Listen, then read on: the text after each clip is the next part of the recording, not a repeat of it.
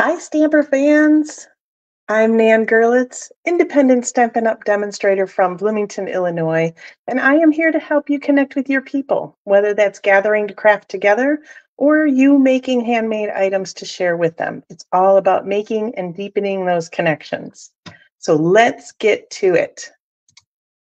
All righty. So first up, congrats to Stamper Man, my, my husband Russ, who made this winning card over the weekend um, won by one vote. So awesome. Every vote counts, right?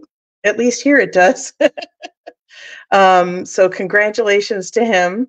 And I love this kind of um, high contrast with the white and the deeper. This is uh, copper clay. So really, really pretty.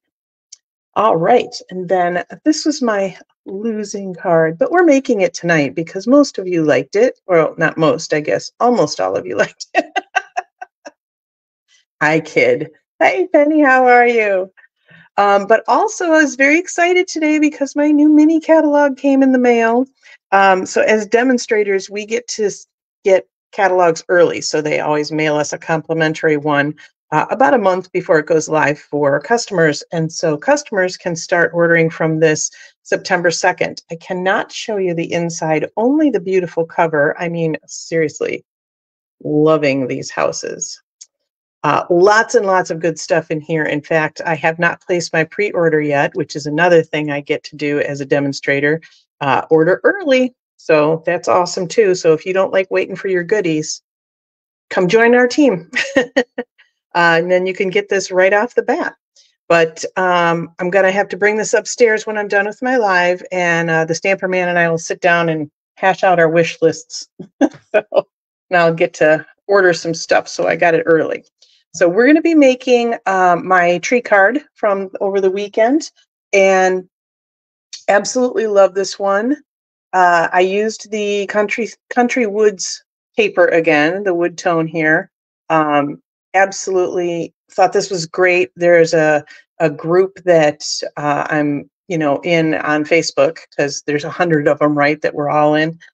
Um, but this particular one is a color challenge group and so this was the color combination for august and i was like oh i can do that and i'll pull out that paper again because it's got the um, basic gray in it. So that's where i started and then decided you know wild wheat again right? First time i used it last week and then bam using it again already. So um, let's start with that tree because that's what i want to kind of show you tonight is if you haven't seen these stencils or masks. We call them masks at Stampin' Up. But They're basically stencils. Uh, if you haven't seen these in action yet, I'm going to give you a, uh, a peek into how they work. They're very easy. And you might be wondering why I have blue tape on my glass mat, and I will show you in a minute, but I want to center my cardstock so you can see it. Okay, so where's, oh, there we go. I'm going to put down just a little bit of Stampin' Seal on there because uh, I don't want my cardstock to move while I'm doing this. And that'll peel right off of that glass mat, no problem. Okay, so we are using a bundle tonight called the Frosted Forest. So we have a couple, I don't know, two, three of these bundles that have these masks in them. Um, and they are gorgeous. I've seen them in action, and this is the first one I've gotten. So this bundle includes the stamp set, the dies, and these masks or stencils. So, um, and the masks actually work with this tree and they work with this tree. We're going to be making this tree tonight. So let's get started with that. So first, what I'm going to do is actually do the stenciling part of the tree. So each of these trees has three different masks, and they are this. These are numbered one, two, three. The other ones are A, B, C, so you know which order to use them in. I'm actually only going to be using one and two for this one. So no rules. You do what you want. so what I decided to do, because I'm going to die cut this afterwards, I just want to kind of get it towards the bottom. And that, you'll notice there's a little notch up here. And so you can actually, if you're working like on grid paper or something, you can pencil in that little notch and then you know how to line up your next stencil when you go. So I'm just going to put that uh, tape down and then I know to just kind of butt it up against that tape. Okay. Let's grab our wild wheat and our um, blending brush.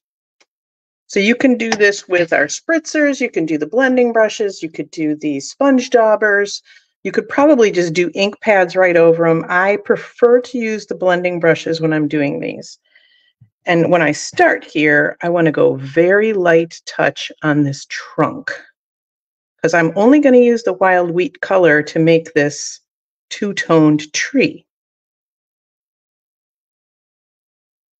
And that's it. That's all the color I'm putting on that trunk. I love that.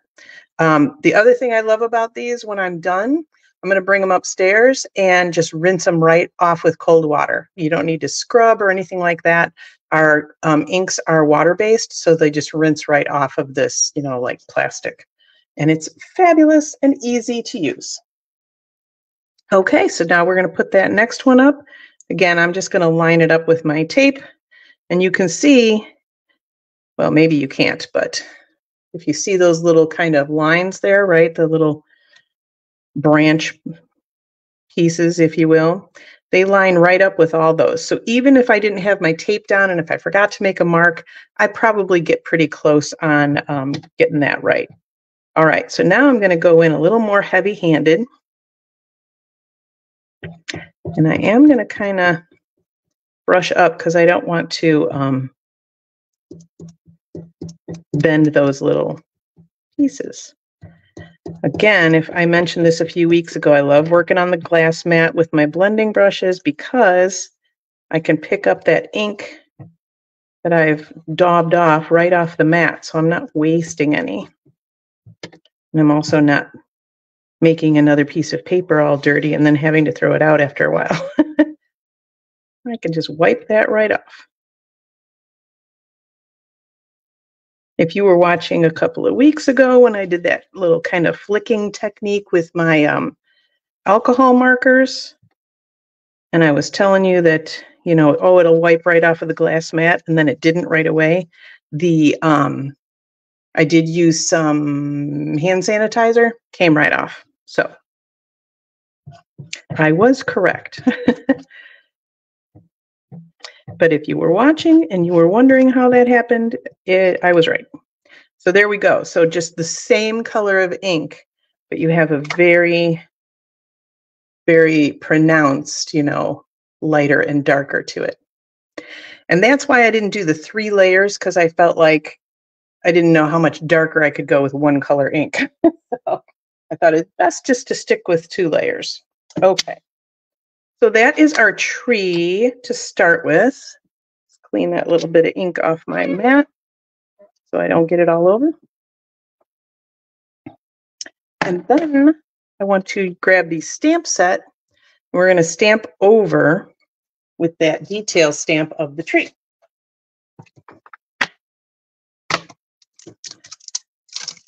And this is where this stamp set just, this whole bundle just blew me away. So again, this is really easy to line up. Yeah, the gallons of hand sanitizer, exactly.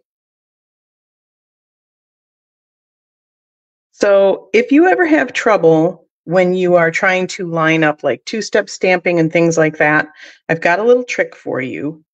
Lay your, if it's a photopolymer stamp, uh, lay your photopolymer stamp over the image just where you want it then pick it up with your block. And what I'm going to do is line up the bottom of my block with the bottom of my cardstock. So now when I go to stamp it, the edges of the block won't kind of distort my, you know, vision and make me miss. Because I actually did miss on my uh, on my Friday card, but it was close enough for jazz. So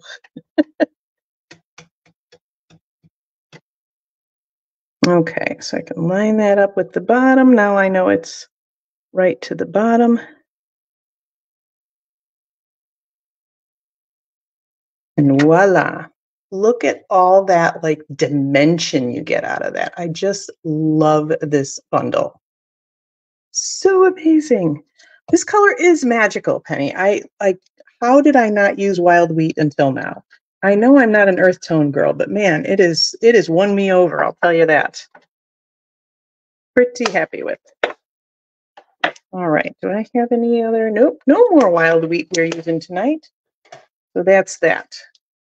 Okay. So I believe what I'm going to do is next week I will uh, I will have even more stuff to show you with this bundle because it's really amazing all the things you can do. Um, you know, you can use the stamp set by itself. You can use it with just the dies. You can use it with just the masks. You can use the masks and the dies together. Like so many different combinations you can do. So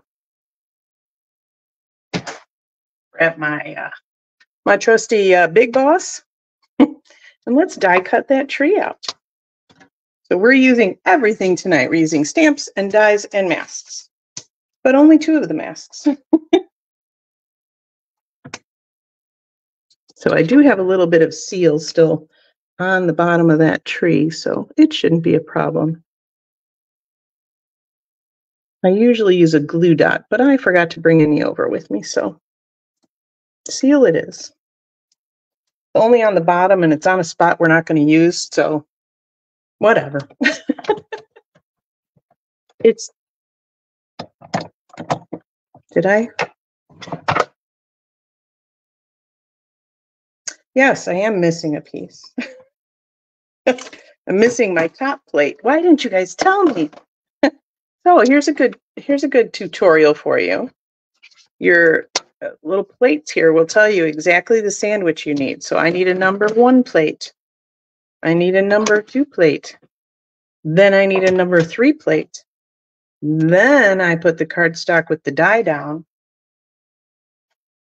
And then another number three plate. I was missing that. One three plate. I'm like, this is not die cutting. This is definitely not thick enough. and there we are. Now I'm messing up my floor too. I almost took a picture of my stamping area yesterday because it was uh, quite the hurricane kind of stamping session. So I was making more samples to show you, so stick around because I have different samples to show you using the same layout that I used for this card. So it's a nice way to remind you that once you have a layout that you like, like just switch out colors or papers or stamps or whatever, and it'll be a whole different thing. All right, so there is our die cut tree. Love it. Let's start putting stuff together. All right, so first we want to stamp our sentiment, and I love um, papers like this where they're a little more neutral and lighter in the background. So you can stamp your sentiment right on there instead of having to grab another piece of paper and die cut it or, you know, whatever. You can just stamp right on there. And I often forget that you can just stamp right on your designer paper. Silly me. Like you don't always have to have a piece of white for your sentiment. It could be a different color. It could be pattern paper. And we are going to stamp this in Misty Moonlight because that is the second color of our color challenge for August. The first was Wild Wheat, and now we're going Misty Moonlight. We're making this a nice birthday card, and I love this card for birthdays because you could send it to anybody. Male, female, non-binary, whatever, right? It doesn't look too girly. It doesn't look too boy-y. that doesn't sound right. But it works for everybody, especially if they love trees or nature. Okay, I'm going to do a little bit of, oh, first we want to do the ribbon. All right, I got some tricks for you on the ribbon. that did look like a brand new plate. That's because what I've started to do is use the same plate on the bottom continuously and use the same plate on the top and not switch them. And then once the bottom one gets really grody and needs to be changed, I just flip the top one to the bottom and grab a new one for the top. So my top ones always look pretty nice now. Okay, so I am using not the pink ribbon. This is a combo pack of petal pink and white, and it's got this cool diagonal stripe to it, which I love. And you're saying to yourself, but that's a blue ribbon on your card. Yes, it is. Let me show you how to do that. so this is a nice way if you don't have um, a millionaire's ribbon budget, which I do not. This is a nice way of getting a lot of different colored ribbons. So I'm going to take my white ribbon and we'll just cut off a chunk of that because I don't want the color to bleed into the rest of it. And I'm going to grab my Misty Moonlight uh, Stampin' Blends, my alcohol marker. And you're going to use the brush tip and you're going to use the side of it. And you're just going to go right down your ribbon and it just soaks up all that good ink. Now, before we had our blends, we used to do this with our ink pads and we'd like draw it across the ink pad and it was a mess and it kind of was wet for a little bit and took a little bit of drying time. or people would dye them. They would actually put like um, water or alcohol in a little dish, and then they would take the re-inkers and drop it in. And, and I'm like, no, I'm not about that. Everything has to be able to be pretty much used immediately. I don't, you know, I am not into drying time. so I just do both sides of this because I don't know which side's going to end up up top, right? So now we have Misty Moonlight Ribbon. Da, da, da, da. Love it. And it was very easy to do and very no mess. And it's already dry. So let me cut off a little piece here to use for the front. I'm going to show you another little trick with ribbon here that I love. So you know, you all know if you've been following me at all that I love to use tear and tape to secure my ribbon because it's a good strong tape. So where the ribbon is kind of trying to pull your cardstock layers apart, this will bind it really well. But it's also that two-sided, right? So it's holding the ribbon down there, but then when I peel off the backing, it's also going to hold this layer to the layer of cardstock below it.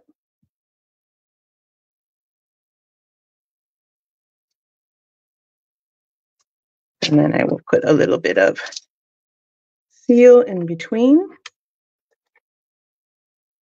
Oh, I just replaced this seal cartridge yesterday and it's gliding so smoothly.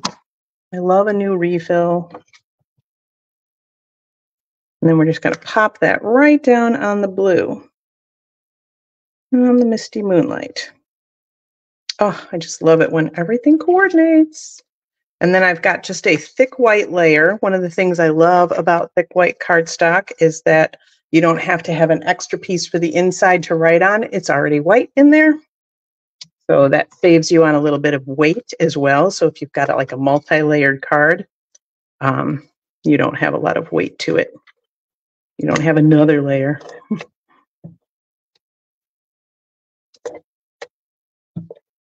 a little bit in each corner. Okay.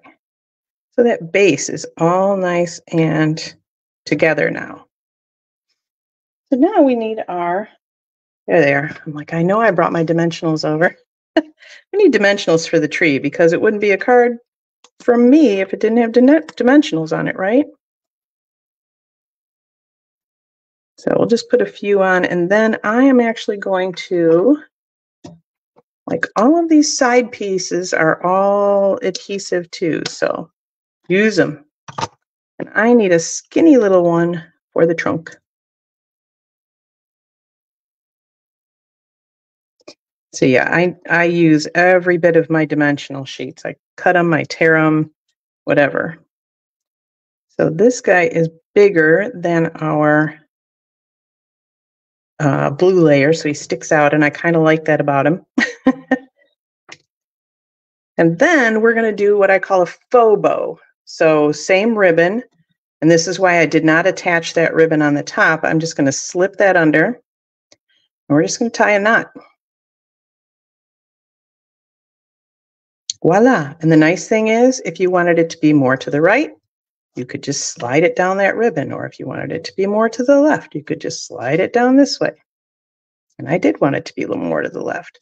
And then I'll just trim the tails. And it looks like I can tie an awesome, you know, knot, bow, whatever, but it's really pretty simple. And I do want to have these diagonals going the same way as the diagonals on the ribbon. There we go. Now the last thing we need, some bling, right? So we've got my favorite uh, neutral adhesive back sequins, because you know I love those. And because that wild wheat turns out looking kind of gold, we're going to use the gold ones. Make our little triangle around the sentiment, because that side just needs a little more color. And there we go. Voila! Thank you, Joan. Good morning. Good morning, good evening. I'll be like the Truman Show.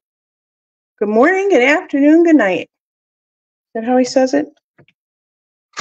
I can't remember now. Um, okay, couple little things before I show you the samples um, with the same layout is I finally got to do a fun little thing. Thanks, Penny. Um, that we've been we've been so busy. Uh, back in April, uh, Stampin' Up! gave us a what they call a sales challenge, and really it's just an ordering challenge for some people. Um, basically, if you ordered or sold a dollar more than you did last April, you got this free pack of designer paper and a virtual event with them to make some projects with it. So these are the three projects I finally sat down and made over the weekend. Absolutely love this. This paper, this cute little gift bag out of a half a sheet of paper.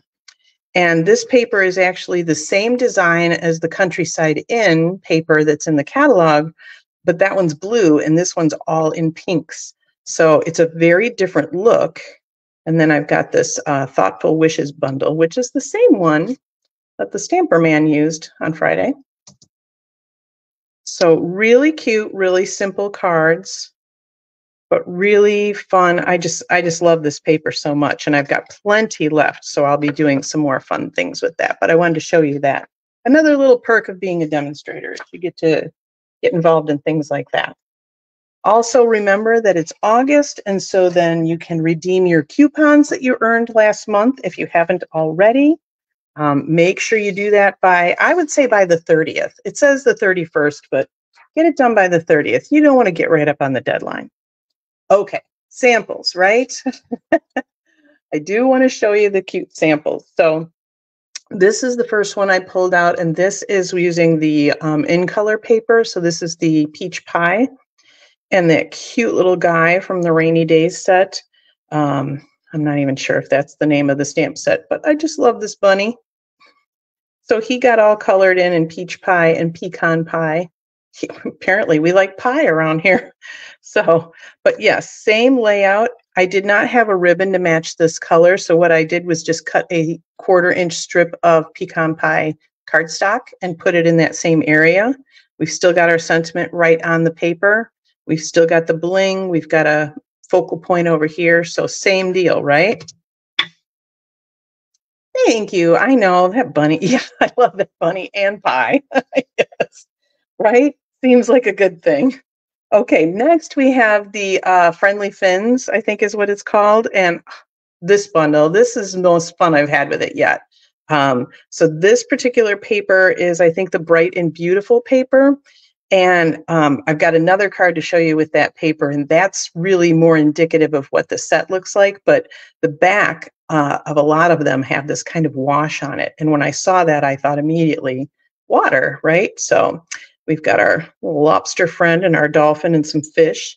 And then what I did, and I don't know if you're going to be able to see it on camera, but I did use some Wink of Stella to make waves. I used it on the dolphin. I brushed the coral with it and the lobster.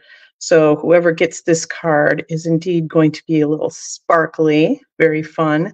And so you'll notice I've still got my focal point. I've still got my um, uh, sentiment up here, but I didn't really do a straight line. I kind of had the coral and that little stamped coral do that for me, make that kind of a horizontal line-ish.